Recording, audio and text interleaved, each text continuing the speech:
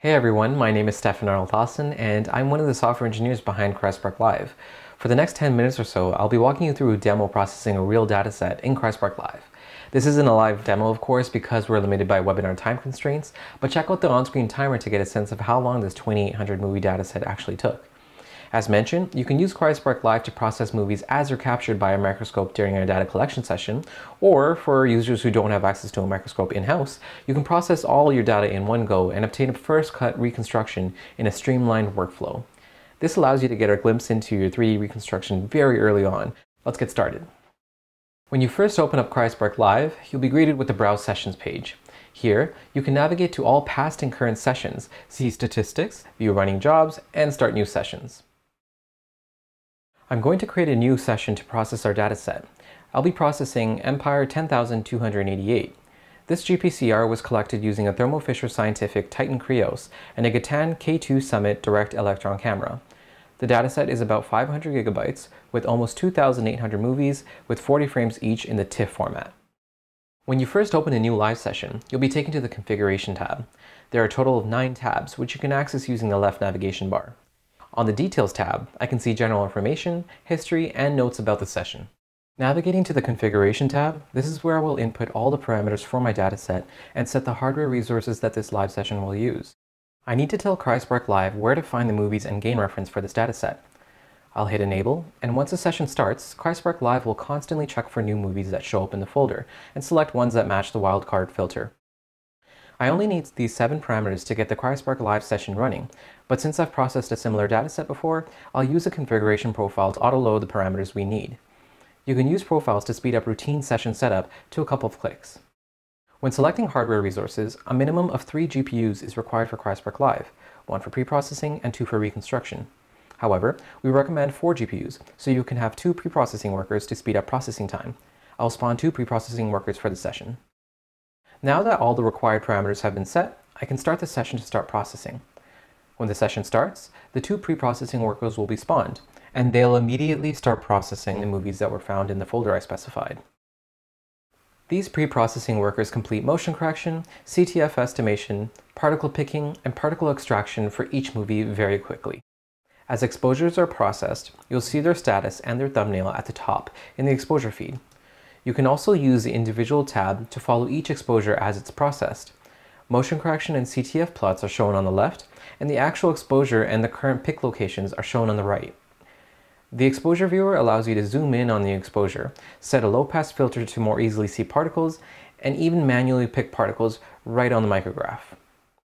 In the Overview tab, you can inspect all computed attributes of your exposures and set thresholds that will include or exclude the particles from these exposures in further processing steps like streaming 2D classification and streaming refinement.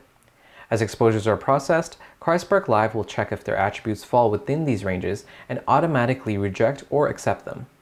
You can also reject an exposure manually in the Exposure Viewer. The Browse tab allows you to plot different attributes against each other and download filtered attributes as a CSV file. This table is also helpful for navigating to specific exposures. The Picking tab is where you will perfect your particle picks by setting parameters and dialing in picking thresholds. By default, cryoSPARC Live will pick particles on your exposures using the Blob Picker, which uses several different sized Gaussian-shaped masses as templates. For some datasets, this may be good enough, but for most, you can 2D classify these initial blob picks to create a few effective templates that can be used to repick particles across your entire dataset. You can repick particles at any time during the data processing session, as it doesn't take much time. But to save even more time, you could test your particle picking settings using the Test Adjustments button on a single exposure. I can select a few classes to use as templates for the template picker. I'm going to set a particle diameter and hit Test Adjustments to see these settings on the current exposure. The exposures will be processed almost instantly, and I'll be able to see how my new settings compare to the original settings.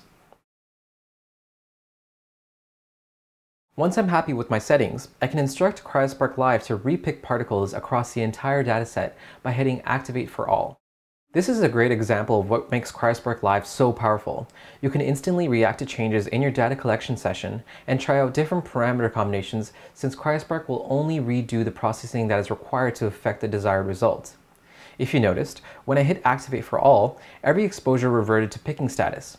That's because since we only changed the picker type, there's no need to redo motion correction or CTF estimation. This auto reprocessing feature is triggered whenever any parameter in cryoSPARC Live is changed, so the processing workflow remains efficient. Now that I'm happy with the templates used to pick particles, I can modify the NCC and power scores using the sliders to filter out unwanted particles that will eventually go into streaming 2D classification. As I change sliders, the pick locations are updated in the exposure viewer. I can flip through different exposures to see how my thresholds affect particles in micrographs at different defocus levels. Once I apply these thresholds, all existing and new particles will be thresholded.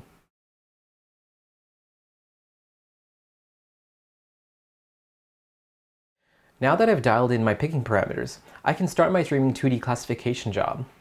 As new particles are extracted and thresholded by the cryoSPARC Live workers, the streaming 2D classification job will align and classify them. When we first start the job, it'll create the initial class averages by quickly processing only a subset of the particles. One thing to note is that all jobs that run in cryoSPARC Live are regular cryoSPARC jobs. You can always flip into the main cryoSPARC interface, navigate to your session, and view your jobs there. Now that the streaming 2D classification job has finished creating all the initial class averages, we can select all the good classes, and all particles that belong to each of these classes will continue on to the next stages of processing. At any point, I can modify my class selection to tune which particles move on to streaming refinement all particle processing jobs will react to any additions or removal of particles and deal with them appropriately. For example, if you modify the picking thresholds to be more stringent, which reduces the number of particles that are accepted, if there are enough particles removed, the streaming 2D classification job would switch to a mode where it recreates the class averages that it aligns incoming particles to. This allows the class averages to stay relevant and help you react to any changes in your data collection session. Before we can start a streaming refinement job, we need an initial model. We can either start an ab initio reconstruction job here to create one, or we can load an existing model. I'll go ahead and start a new one, since it doesn't take much time. The final step of initializing our end-to-end -end Live real-time processing session is to start the streaming refinement job.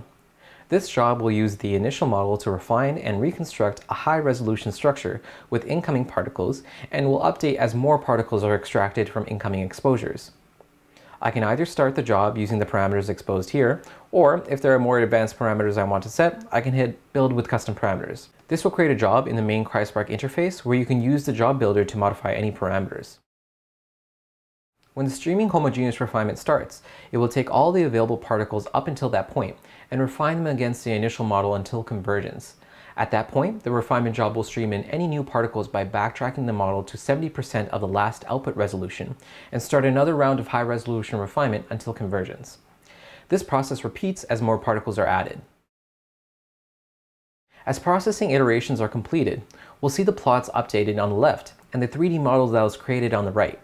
The 3D model viewer is a handy tool that you can use to instantly inspect your structure as particles are being processed.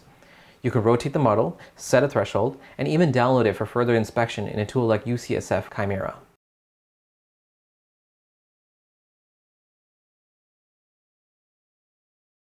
At this point, I can leave my cryoSPARC Live session running until all my movies are finished processing. Exposures will be pre-processed by the cryoSPARC Live workers and accepted based on my CTF fit threshold. Then, particles that are picked by the template picker will be filtered by my NCC and power thresholds. Then, extracted particles will be 2D classified and filtered based on my selected class averages, and finally reconstructed in a high resolution structure, all without any input automatically. If at any point I notice that data processing is not going in the direction I want it to, I can always change any of these parameters, and the reprocessing system in cryoSPARC Live will take care of redoing only the work that needs to be done, and nothing more allowing me to iterate very quickly, all before my data collection even finishes. Once all my movies have completed processing, I can mark this session as complete. At any time, I can take the results that have been created by cryoSPARC Live and further process them in the main cryoSPARC interface. I can use the outputs directly from Streaming 2D classification or Streaming refinement to continue processing. I can also get all the exposures and particles that were processed in this session directly into my workspace by using the export actions. This concludes a typical data processing session in cryoSPARC Live. Hopefully, you got a glimpse of how easy it is to extract powerful insights from your data in such a short period of time.